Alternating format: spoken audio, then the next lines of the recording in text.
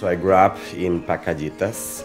There are a lot of pastures and like coffee plantations and sugarcane plantations. Um, so all the families work in, in agriculture since we were in the kindergarten. We used to go coffee picking.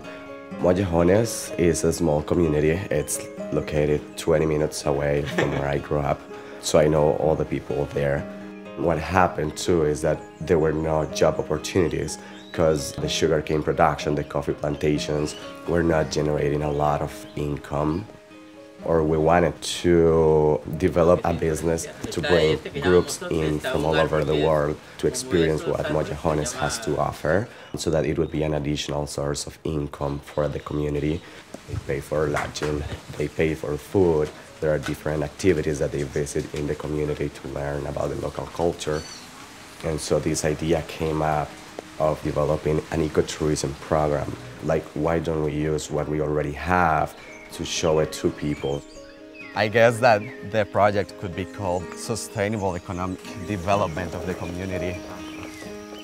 So Pedro learned this technique 30 years ago when he was doing a workshop that the National Learning Institute brought into the community. So that would be three, four months maybe for him to be able to get the new tree out of the mother tree. It's a different way to use his land as an alternate source of income. So he would produce the guavas, sell them, and then those would be used to produce jelly and other materials. And then secondly, he would bring groups to show them the process. That's what the classes taught him, to use the tools and the knowledge that he already had and turn them into a business that would bring income into his family. The idea came from the community, and that's actually what inspired me. Uh, and they knew that I was studying ecotourism.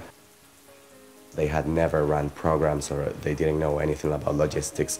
They needed someone with a little bit of knowledge about uh, tourism and about just business.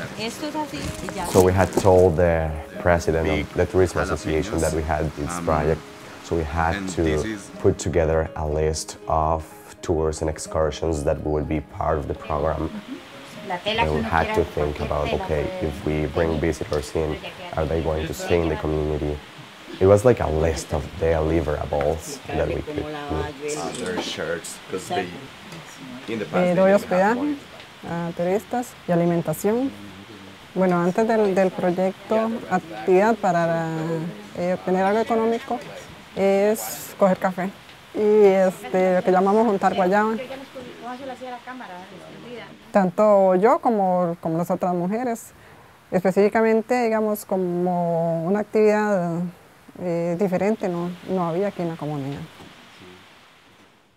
So they are going to show us how they make the traditional handmade bread. We eat it pretty much every day here uh, in our houses.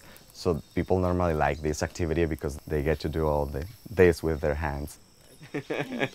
As part of the CCI program, I took classes from the Hospitality and Tourism Management program. Then we did like human resources, we did marketing, uh, we did like facilities management. So those classes were really helpful to learn business skills that I hadn't had the opportunity to study.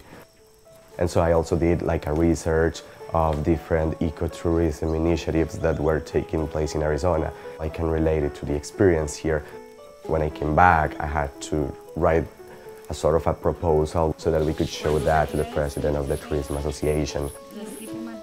And so they get to do what they are used to do at their homes, but to show it to people from all over the world, and then they get to connect with these people that they receive.